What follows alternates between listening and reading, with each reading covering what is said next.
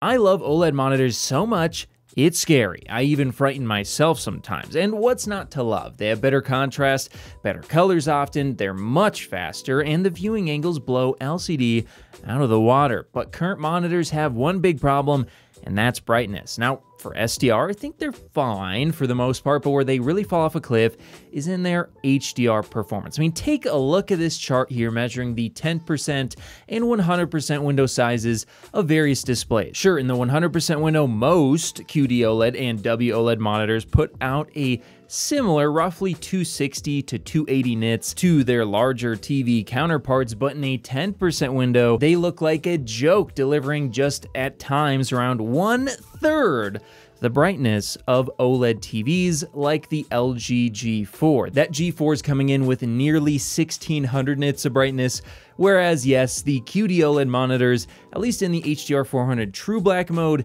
can't even hit 500. That is an enormous difference and something that makes them look, well, rather anemic in terms of their HDR performance when compared to their TVs. And even in games, this trend continues where once again OLED TVs can get up to more than three and a half times brighter than their goofy ah monitor counterparts on HDR highlights like in this scene in Baldur's Gate 3. And that's just an absolutely insane margin. But you might be asking, all right, fella, great, but why do I care? Well, you should care because even though OLEDs have potentially infinite contrast when showing true black thanks to their per pixel local dimming capabilities.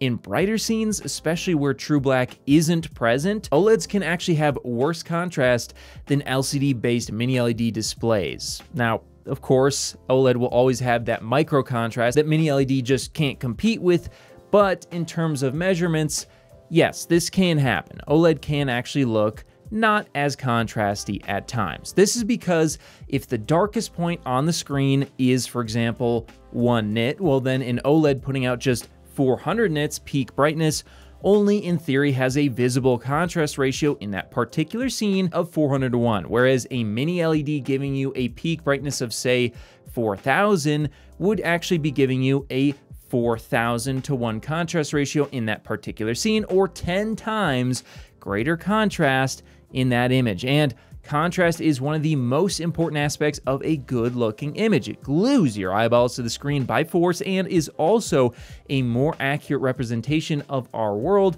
which has enormous contrast potential, not just at night, but also on sunny days as well, the likes of which screens today are simply incapable of emulating. In fact, to give you a visual representation of just how far behind OLED monitors are for HDR, here's a chart showing the average QD OLED versus a mini LED TV, the ideal OLED, and an ideal monitor right now. As you can see here, the typical QD OLED is way, way at the bottom, at least in its HDR 400 True Black mode, and the Hisense 98UX is absolutely smoking it. Now, that's to be expected. It's a mini LED TV. It's going to get much brighter, but that is actually getting close to what I would consider to be the ideal OLED monitor, at least right now. And the ideal OLED monitor would, in my opinion, have a 1000 nit capability in a 100% window and get up to 4000 nits in a 2% window. Now, that might sound kind of insane, but actually, OLED TVs are rumored to be getting close to 4,000 nits in the near future if what I've heard about potential next generation LG OLED TVs turns out to be true. So sure, maybe that'll only be TVs and not monitors, and it'll probably be a while until we get a monitor with that sort of capabilities, but it could be possible in an ideal OLED pushed to the absolute max in the near future. But that actually doesn't even come close to the ideal display overall. The ideal display for HDR content, in my opinion, would have a full screen brightness close to 4,000 nits in a peak 2% window of 10,000 nits. Now, that might sound insane, but actually, small highlights that are very, very bright, at least for me, don't cause eye fatigue. And Actually, the outside world I've measured in excess of 30,000 nits on something like a cement driveway just reflecting the sun. So clearly, our world can get much, much brighter. And we don't necessarily need to exactly emulate that, as there is a limit of what our eyes can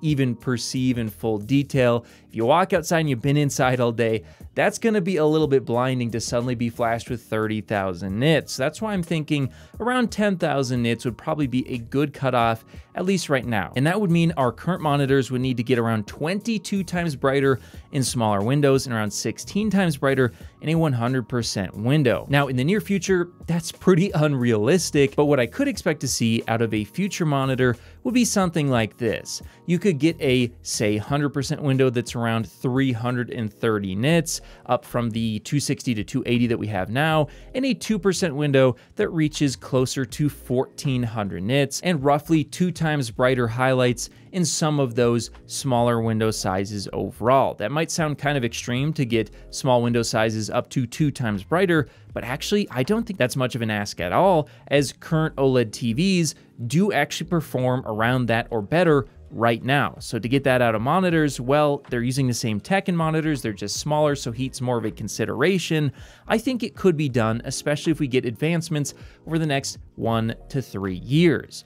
But that's just my thought process on it. I want you guys to let me know in the comments how bright do you think OLED monitors should get? Should they get to maybe 1500, 2000, 4000, 10,000 nits in a small window size to give you that enormous contrast, even in brighter scenes?